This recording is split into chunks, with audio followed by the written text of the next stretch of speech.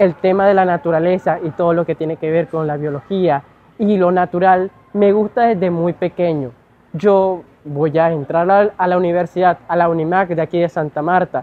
Puede que el tema no esté relacionado con la gestión ambiental, pero planeo utilizar la programación, la ingeniería, para aplicarlo con lo natural y poder así ayudar, porque no solamente son las personas que plantan o las personas que ayudan a concientizar, sino también las personas que hacen el software, que ayudan a controlar pues las variables que pueden ayudar a hacer mejorar la naturaleza, todo lo que se está dañando, lo que podría ser la jungla del Amazonas, los desiertos, los páramos, todo lo que hay en Colombia y su naturaleza. Yo una de las opciones que tengo para poder estudiar en la universidad son dos principalmente.